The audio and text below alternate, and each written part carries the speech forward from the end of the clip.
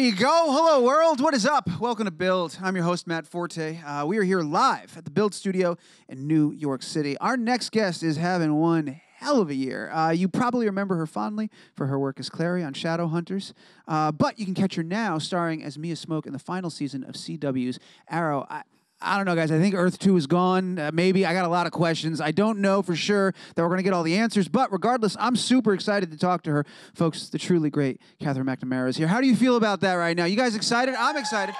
There. You hear that? Hooting and hollering over here. We are pumped. We're going to bring her out in just a second, but first, I believe we have a peek at the show, so let's go ahead. Run that clip. Let's do it. Ooh, ladies and gentlemen, make some noise. Katherine McNamara's right here. Thank you so much for having me today. Hey guys, what's up? While we're applauding, make some noise for these pants. How awesome is the look amazing right now. I mean, I had to the green leather. I had to, you know, support support father here. You know. Yeah, as he looms over you, the largest photo we could find to just hang right over you. Presence of Stephen Amell is always here always when here. you're talking about Arrow. Yeah, What would Stephen do? I say that so often in my life. I have a little necklace. It's true. Yeah. What would Stephen do? And I and I, I come out all right. I'm here now. Well, there you right? go. So I it's think you're doing all right. I think so too. Not too bad. Mhm. So, talk about doing all right. You're doing great. Well, I said it in the intro. I'll say it again. Uh, what an incredible year! Congratulations uh, on so many amazing projects and uh, so many things uh, coming to fruition. Just what a great year for you right now. How are you doing? Uh, I'm very busy. And very happily so. No, I, I always say this. I don't really like time off. I don't really like to um, to to not be busy. I'm a very proactive human being because I love what I do, and I'm so grateful to have so many wonderful things going on. And it's uh, it's been a busy year, but I'm happy for it. I'm happy to hear that because you certainly do have a lot going on. Thank you. Yeah, we're going to talk about as much as we can. Obviously, I want to talk to you about Arrow. Uh, so cool where this is going, and, and so much more cool stuff to come this season in particular. One of the things that I thought was really interesting, reading about how you sort of came into this world. Mia was introduced sort of as a recurring role this year, starring role. Did you know early on when you got the gig what the future looked like for for Mia? I knew what the potential was and I knew what the idea was, but the whole idea was trying to see what worked and what audiences would respond to and kind of how the rest of the story, because they had so much else they had to do and so much they didn't know about the future of the show. So there were a lot of things that had to be worked out. So it was all it was all a question mark. But I just had the best time from day one and, and Beth and Mark and everybody over at Arrow has written Mia so wonderfully for, for now two years that um, her story's been just a joy to to create and to collaborate with them on. And it's um it's such a rich character and one of the most interesting that I feel as I've ever played. And it's uh it's a great world to fit into. And you're clearly having a lot of fun playing her. Like you can tell that this is like one of the roles of a lifetime. Like it's so exciting uh, to be able to do the stuff that you're doing. What was it like? Because you mentioned they, they do have a lot that they have to do or that they've had to do, right? And that they're doing with this show, especially with the crossover that's happening. What's it like walking into that universe, especially season seven? Uh, you know, so late in the game, they've established so much. There's such rich lore. Is that intimidating to walk into that world? It it was very intimidating at first, you know, and especially because when I auditioned for this, I didn't know who this character was. It, they were sides for a different character. It was a completely different thing. So when I was cast, I thought I was cast as a rookie cop that was going to interact with all these characters somehow. So I was researching, you know, how cops train and what they do and what their education is like. and then I get a call from Beth Schwartz, who's our showrunner, and she says, Hey, by the way, congrats. We're so happy to have you. By the way, everything you know is a lie. You're Oliver and Felicity's daughter. Goodbye. I wait, wait, wait, wait, wait, wait, wait. I have so many questions. Back up. What's my name? What's going on? And so it was a whole process of learning what this character would be, what her backstory was, and and how she fit into this world, especially being 20 years in the future, filling in that 20 year gap of what happened and how did Star City get here it was a lot. But you know, the writers have been so wonderful in filling me in and keeping me posted and kind of keeping me in the loop as to how things are changing. It's been so wonderful. I um I did have a moment when I walked into the Arrow bunker for the first time. The first time I shot in there was during Arrow's 150th episode. And I walked in and I had a moment where I went, "Oh, this is the bunker.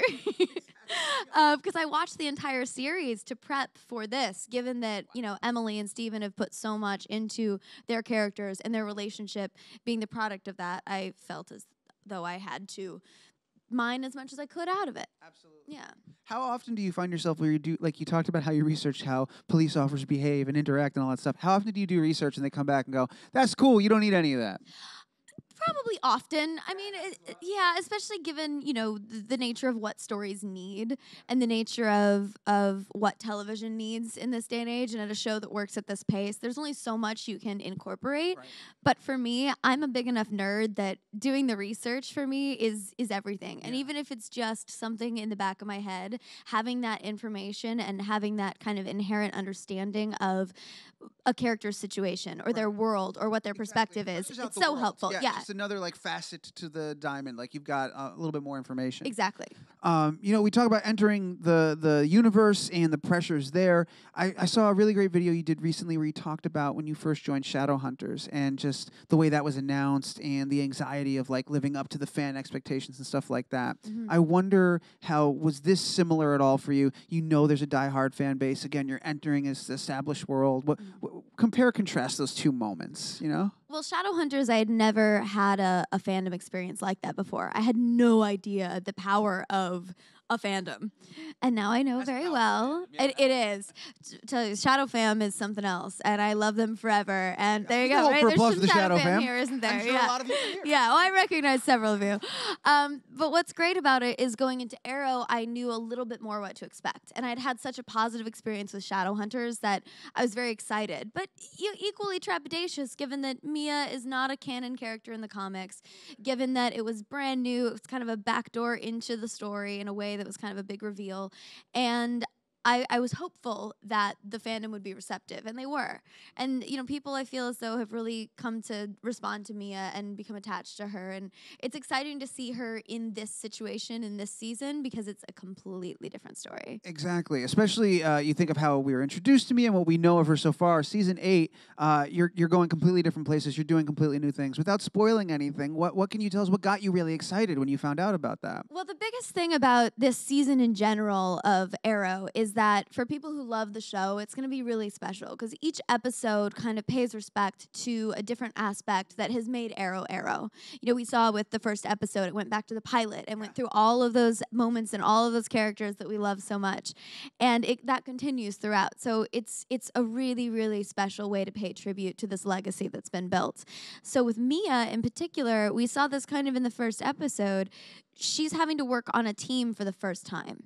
She was raised by her mother alone in a cabin, trained by Nyssa Al Ghul, who's an assassin. She's very much a lone wolf and is not used to having to consider the opinions of others or the safety of others. And that, particularly with her brother William, she promised her mom that she would look out for him.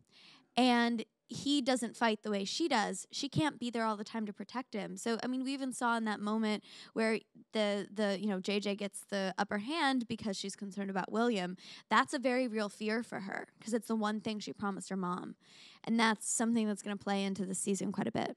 When you have a character as rich as Mia, but uh, like you said, not canon, so there's like new stuff. What what do you look to for reference? What do you look to to do research to to get yourself there when you know these are the kind of relationships you're going to have to deal with? Mhm. I think the biggest thing I looked to in this instance in particular was Stephen's character and Emily's character because she is so much an amalgamation of her parents. She's all the best brooding uh, focused, fierce parts of her father with the humorous, snarky, intelligent parts of her mother. And it, it all comes together to create this uh, person that's completely different, but sort of the best and worst flaws and assets of her parents and and trying to find little ways to thread in their nuances and things that make their characters special into Mia is a nice way to wink and play tri- pay tribute to their legacy. For sure. How how much uh, have you guys filmed? Have you finished? We I just finished the crossover. You, oh, real? Oh, So, yeah, there that's all I can say. in the room. That's all I can say is that I'm in the crossover, and I can say no more than that. But um, I just finished my pieces for the crossover, and so that's we have two more episodes to shoot for Arrow, and then that's And then that's it. that's Arrow. well, for now, perhaps. There's Yeah. been a lot of talk. there has Have you done? I don't know if you can say this or not, so I'm not trying to get you in trouble. But there was talk, a lot of articles, and I think you might have retweeted or posted something. The the backdoor pilot, the idea of you stepping, and then there was actually this comic was just, this cover was just tweeted a second ago or a couple days ago, which is yes, again, audible huh? gasps in the room. Mhm. This is as cool as it gets. This is the dream right here. Can't, I don't think you can say anything, but is there anything you can say about this development? all I can say is it's exciting to see what what is coming potentially. You know, there I know in episode 9 of Arrow it kind of goes to what happens next. That's kind of the beginning of the beginning of the the epilogue of the series and we'll see what they what they do. I actually truly don't know a lot yet. You haven't done nine doing. yet. You guys film No. in sequence or no? Uh, yeah, we do, but we're about to start 9, so I'm just So you don't even know yet? information. I really don't know much. When do they tell you? How how far out do you have to like prepare and stuff? It depends. Depends because there are so many elements that go into the planning of it. We're usually one of the last to find things out just because as things change, we're already shooting something else. And I've been, you know, in crossover land. So I've been in pretty much every different universe that you can possibly imagine at this point. Um, I actually haven't been to the Arrow set in almost three weeks. Yeah. So that's been a huge departure. But I tell you what's so fun about crossover is that you get to see the interaction between different characters you would never otherwise see. And just for me as a as a nerdy fan, it's so fun to just be on set. Everybody's in their suits, and I'm like, what a great moment. it's so cool. Uh, what about um, not just like the the characters and the actors and everybody in their suits? What about the crew and everybody behind the scenes, going to those different worlds and seeing all these different families and how they kind of operate? Is that is that a fun part of it? It sort of- really is. yeah. And particularly with these shows, you know, I've been spoiled with Arrow because you have this show that's been such a legacy and lasted for so long. And a lot of this crew started on Smallville and has stayed together through Arrow. So they've been working together for nearly 20 years. And to watch a crew like that, it is a family. Yeah. And to be welcomed into that to people that know this genre so well and are so able to just, it's a well oiled machine and everybody works together so well and has such a great time. It's a great environment to jump Yeah. into. But it's interesting because each show has its own personality. Right. And so going from set to set, it's sort of the same thing, but slightly different. Yeah. Um, but it, it's been the biggest joy, and everyone's been so awesome in in coordinating everything. I do not envy the people who have to schedule the crossover. Truly, it's it's down to a matter of hours. Of we have this person until this, and then their stunt double takes over while they go across town and they go another place, and we get the it's it's it's um it's bonkers. I imagine it to be kind of like, and maybe I'm I'm way off, but like when you were a kid and you would go to like your your friend from like another town, or like your cousin's school. It's like they have classrooms, they have teachers. Yeah. It's the same, but Yeah. this is another planet as far as I'm concerned. It's like completely different at the same Sometimes time. actually another planet. Literally, yeah. Oh, look at that. Look what just happened there. Um, we talk about uh, the crew and the set and it all being like a big family, a familial vibe. Uh, very famously on Shadowhunters, you guys between takes, a lot of downtime, you would make music and like write songs and have fun. What, have you guys had time to fall into fun little habits between takes on, on the set here, or is it just such a big production right now that there is no time for music and fun? There is only Well, let me put it this way. On crossover, I'm a huge musical theater nerd, and there are several other folks on several shows that are also huge musical theater nerds. So there has definitely been quite a bit of song and dance and and breaking out into different things, um, which has been super fun. But that's that's been the majority of it. You know, we when you're on set doing shows like this, it's also serious and everything's life or death stakes. You can't help but laugh between takes.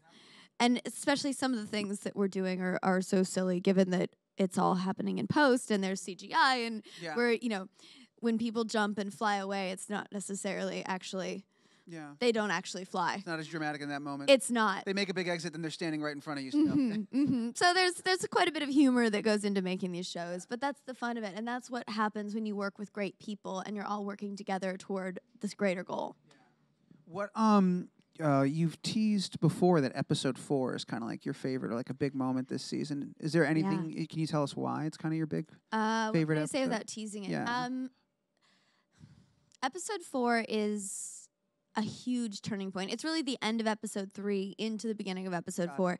It's it changes everything. Yeah. It's a huge moment and a huge event that not only changes Mia forever, but changes the course of the entire arc of the story. Wow. And uh, that's what you have when you're building to crisis because all bets are off and there are no rules anymore. And literally anything can happen and it it rocks Mia's world in a way that she never thought possible and it, it really is going to force her to confront everything that she's tried to push away in her life. When you get a script like that and you see that that's coming down the the, the pike, like how excited do you get? What does that mean for you as a performer? Oh my god, I get to go live this moment now. It's my favorite thing as an That's it. actor. My my favorite thing in the world is when I read a script and it, it scares me a little bit. And I go, Oh, I actually don't know if I can pull this off. Because I know on the day that's that's what I love about what I do is it forces you to grow and to to rise to the challenge. And that's that's the best part of it all. What's going on with you outside of this world with you doing music? Are you are you gonna make, I make am. moves? Yeah. I saw you post something with a microphone. yeah, I did. Could be music, could be voiceover. I don't No, there- know. there's a little bit of both actually coming Oh. down the line, um, which is Take a nap. How much stuff are you working on? as much as I possibly can.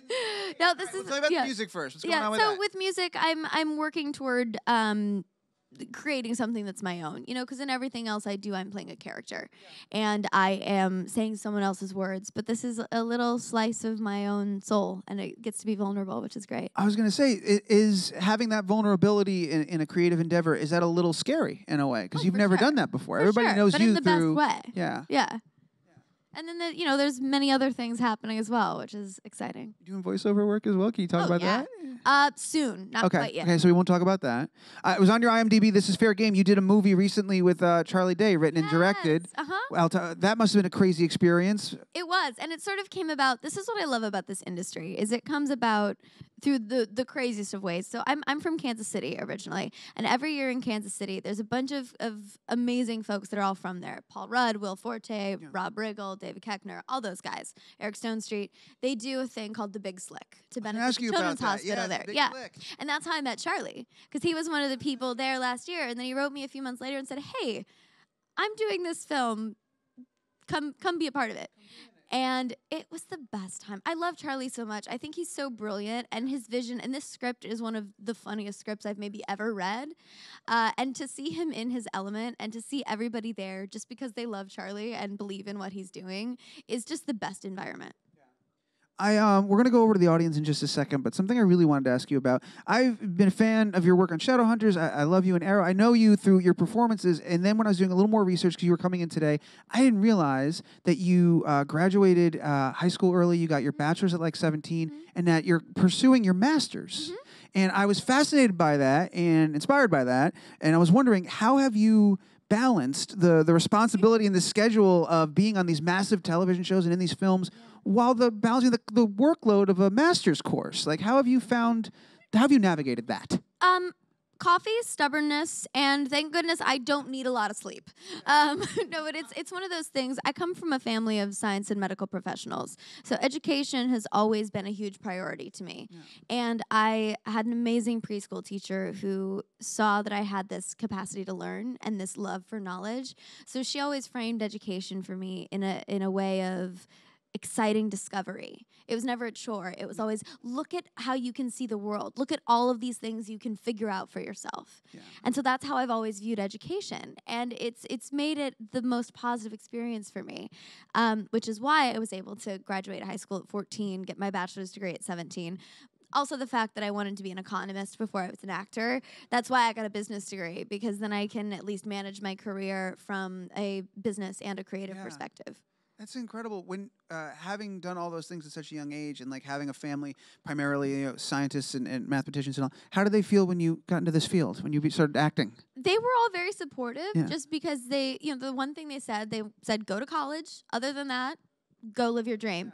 But what was very interesting is to see their perspective shift as I started to work more consistently and gain more stability in this to see them see it as a real career was probably the most gratifying moment for me. When when people like my grandfather who grew up in a small town in Missouri and this is you know the farthest thing from his world to see him finally go oh yeah this is this is what you're going to do for the rest of your life and you're actually doing it and supporting yourself and all of this that's the most gratifying thing for me is to do them proud. You do you, you're beyond doing i'm proud. You are very very impressed with, with that. I thought that was the coolest thing in the world. I You got to come back tomorrow. You got like 10 other things we have to talk about, and I'm running out of time. we- I don't know how we we're going to do about this. The stand real Uh, quick, just because I'm such a Stephen King fan. That's exactly it. I was like, I got to talk to you about the stand. I didn't know if you could say anything about that yet, but congratulations. Thank You're in the you. stand for crying out loud. Thank you. That's huge. Thank you. Yeah. I can't say too much, but what I can say is that I'm I'm just so excited and You found that out. What was your reaction? uh, speechless. Yeah. truly. I mean, it is one of my favorite movies ever created, and and it's the way that Stephen King crafts stories and the way that he is able to to create these worlds and and make us believe things that may or may not be possible is just so brilliant and I've always been a huge fan and to be a part of that and and you know Josh Boone has been a friend of mine for years and Yeah. the fact that he's directing and and his passion for this project too is so exciting plus Yeah. with the cast they've assembled and Yeah. it's a huge honor just to be you know a part of it What an ensemble that you get to be Mhm. a part of. Uh, you think you'll get to meet Stephen? I hope so Yeah. I hope I am able to control my fangirl if I ever meet him but yeah I just saw a thing. Uh, I did that thing on the internet where you read a headline and then pretend you read the article. I saw a headline that said Stephen King's house that uh, I think he's moving out and they're going to set it up as like a writer's retreat that you can go to. I know. I know. And I was like, how do we go there? how do we go there Yeah, I was like, I've written very little, but just enough to deserve a retreat. So, like, we got to go to Stephen King's house and figure that out. I just want to sit in the presence of that energy and Yeah. just see what happens. Yeah, I don't know. Obviously, great things happen there. Um, I'm dead serious. You're the coolest person, and you've got so much going on. Thank you so much for for finding some time to come hang out here and tell us all about it. Always for you Uh, guys. thank you. That means a lot. I do want to get to the audience questions. I've got at least two in the room. Let's go. The first one. You have a microphone. I'm looking for you. I think it's you. Hey. So my question is, how was your time on Shadowhunters and the training you did for the show help you with the physicality that came with your role in Arrow? It's a great question, actually. That's done everything for me. You know, I, I owe everything to the trainers on Shadowhunters because uh, before that, I'm a very tiny human. I've been a dancer my whole life, but I, I'm, I'm a tiny person, and I never thought I could be physically strong in any significant way. Then I met the trainers on Shadowhunters, and they showed me how to properly train and how to turn my body into this machine, and it's completely changed my life. The way I, you know, live every day and the way I do things, it's changed my perspective on on the previously arbitrary limits that I had for myself. But I was so thrilled to be able to carry that into Arrow because I have the foundation to add skills like archery and and all the other things that I need to do for this show. Um, but I I owe it to those those guys who taught me everything. Great Thank question. you. Uh, do I, have, I want to do at least one more. Can we get one more? Microphone. There you are. Go for it. Hi. Hey, my name is Isis. Um, my question is, what similarities do Clary and Mia have? I think probably the biggest similarity in Clary and Mia is their ferocity for what they feel is right. Um, Mia and Clary both will fight tooth and nail for the people that they love, what they believe in, and the the greater good, in a sense. And that's something that, and they will do so in the most feral of ways if they have to. Um, but that's what's so great about playing these characters is that they are fierce women that will not back down, and it all comes from their heart and the people that they love and what they believe in. And while it's much more apparent in Mia than it is in, or in Clary than it is in Mia because she likes to mask all of her emotions, um, it's it's been a great journey to kind of compare and contrast a similarly motivated character. Great question. Thank you. Um, we got to wrap things up. I got to say goodbye. But before we do, there was something I was thinking about. Uh, you know, hearing like how the training prepared you for this role in general. That whole experience. You know, being on the show for four years and change, right? And getting to be Clary for that long, getting to be in character for that long. Actors don't t- get that opportunity every day. No. I'm wondering what you've taken from that experience uh, that you carry with you now to each gig and each opportunity. Something, something that's going to stick with you forever. So many things that I learned, but uh, something that I always carry with me is is the symbiosis on set. Because Shadowhunters was a production where every single department cared so much about the story and about bettering the show. And what that did is that created a world that was a character. So our sets, our props, our costume, everything worked together to create this world. And after three or four years, what that allowed for was the characters to take on their own lives and their own relationships. And you, you know, I'd be doing a scene with Dom or with Alberto, who I worked with every single day for years and years and years. And our characters had their own mannerisms and they had their own ways of being in a room together. And without even thinking those things kind of take over beyond our own personal relationships. And it's really cool to have an actual character history that you have physically lived through that you haven't just talked about or made up in your head. You, you've been there. You've been in those rooms working through those situations that blood sweat and tears exists between you. And that's so special because then it, it, it takes on a world and a nuance of its own that i can only imagine you know people like stephen feel as well. Yeah, for sure. Um, he's right, here so i keep talking Exactly. about him yeah He's always with us. What would Stephen do? Uh, well, Stephen would wrap it up because he's out of time. Uh, so I'm going to follow in his footsteps. Uh, again, thank you guys for being an awesome audience and hanging out you with us. Yes. so much. Uh, thank you for those tuning in at home. Uh, Arrow, my friends, is if I need to remind you, but it is airing Tuesdays on the CW 9, 8 Central. Uh, and keep an eye out for the, I don't know, 10,000 other things you've got going on.